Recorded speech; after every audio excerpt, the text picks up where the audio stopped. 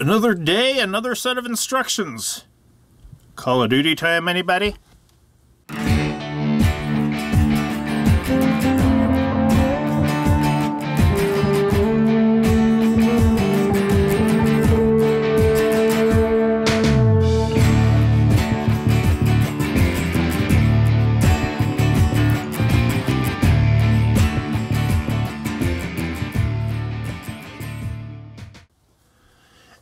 As with last time when we did the Doom instructions, please don't take any of this personally. I realize that you didn't have a whole lot of time to do this assignment. I kind of forced it on you, and you're having to work with people who aren't in the same room and blah, blah, blah, blah, blah. Um, the way I mean the commentary, I'm I think all of you did a good job considering the time and the restraints you had on it, but the way I mean the commentary is just to point out things that you can alter, things that you can change in your own work. The instructions assignment might be submitted, but you might want to revise it, and doing some of this in addition to being good practice, might give you a bit better insight into what to do to your work. So let's look at them. Okay, let's start with the art one. Same rules apply as last time. This is all learning opportunities. I don't expect anything to be perfect. I know it's a quick assignment, blah, blah, blah, blah. If you look at the left-hand side of this, you see that it's an utter and complete wall of text. There's no space between anything. And that cramped page kind of gives the reader a cramped feeling. Plus, you know the cell phone manual principle. I need to be able to pick out specific bits of information. If everything is crammed together, I'm not really going to be able to do that, am I? I am appreciative that they have the font choice proper. You don't need to indent the paragraphs. The paragraphs are short enough, so that's okay, but you should put some space in between them when you're doing instructions, having images for each of the items is going to be a really good thing because, well, remember the broken leg principle. If somebody has to search to find out what you mean by this thing, then it's not going to be that fun of a task getting your leg set by them. So pictures help that controls on the page number two. There's a picture of the controller, but it doesn't tell me what button is what. And there's a small image right here, and I'm not really sure why that's there either. The red works. It has a lot of contrast between the background. The green has a little bit less, but you're going with the color of the game, and I think that that's acceptable. If we were to move on, it's much the same kind of thing.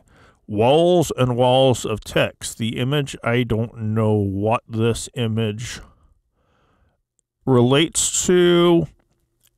If the text at the bottom is describing the little bits on each of the part of the image. The lower left of the screen shows your current team and score for multiplayer matches. Well, why isn't that marked? It's a fairly easy task within Word to put a circle around something or to label something. And that's something that you can end up doing. I was kind of hoping that when you reorganized this and you got to the instructions segment of it, that it would be set up like a set of instructions instead of like a narrative. So going for those numbered lists is going to make information easy to find if you're going back through it. Again, the cell phone manual principle. So put stuff in lists. It's a design essential here if because if I'm going back to figure out how to do a task, I'm going to have a hard time here. Education. Education has a bit more space on the page. They have a title page. They have a title title of contents. Should be table of contents. Not a problem. That kind of stuff happens. There's more space on the page, but when we get to page three, where the story starts, you see a problem. There's an extra space between each of the paragraphs and story. That's good. There are pictures of characters. That's good. But there's these massive blocks of white space just sitting there, showing us that, Well, that's where our eyes are going to go. There are ways to put this in to where it fills up the page without crowding the page. This is kind of an opposite extreme from the last one. And you can see on page four, it continues. They got pictures for all of the main characters. It would be nice if they also had pictures for the other characters. It would help it work that much more. Controls, once again, we have a picture of the thing without having anything marked, and the same thing happens with the heads up display. Notice when they go for the record, Act 1, SSDD, there is a bulleted list here. And this is an appropriate place for it. But when we get to the tutorials, there's a whole lot of bulleted lists. Bulleted lists are great if you're listing options, if you're listing components, but if you're listing tasks that have to be done in a specific order, that really needs to be numbered lists. And if you just have list after list after list after list, it's going to look a little bit like an outline rather than a set of instructions. Yeah, I know a part of this is inherent in the document you had to work with, and I'm not complaining about that to anyone. I because I didn't require you to change the information. It's going to be too much. But this is just stuff you need to keep in mind when you're working on your own instructions. And yeah, I know you've already submitted them by this point, but you might want to revise them. So, and that's technology. Technology, as opposed to the other groups, decided to go for a colored page. And black seems to be a good color to set off a story about war and terrorism. The green does work very well as a contrast color. I think ultimately, no, no, the green works perfectly fine. And you look over on page three, there's different shades of the green to help us distinguish between the items. Cool. They're not using sans serif font for the headings, though. There's less space around the pictures than in the last one, but we're seeing another design thing pop up where we have picture, text, picture, text. You can do a bit of variety, and that would help your reader visually sort stuff out.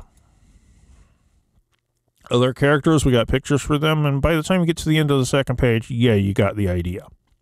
Controls. This group found a picture that has all the labels set up so I know what button they're referring to when they say the L button. Yeah, I can figure it out, but you don't write things for people who can figure it out.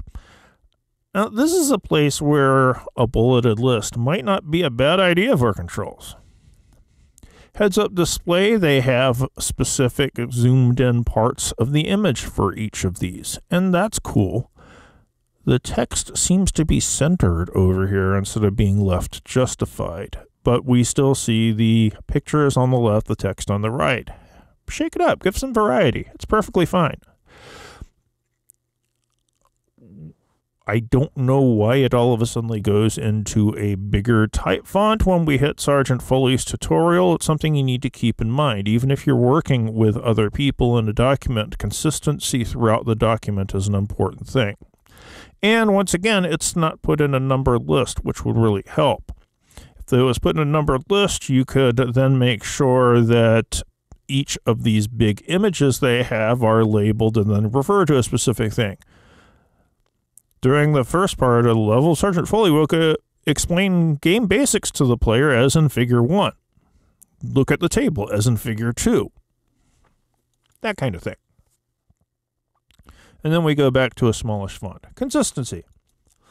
Transportation does have a serif font for body text and a sans serif font for the. Con- Wait a minute. It tends to go over into a sans serif font under controls. Consistency again.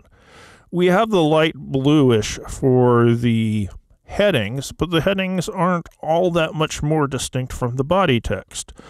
We don't have any pictures, and you should remember how easy it was to follow instructions without pictures when we did the tie the shoe thing. It's a little bit of a nightmare, right? So having pictures really will help in that instance.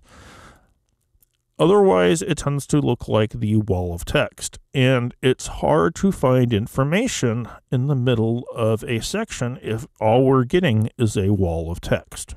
A lot of the work we do in this class is going to be kind of work in progress stuff, practice stuff, stuff designed to get the standards driven right into your brain. And hopefully, doing this set of instructions and going over them help just a little bit.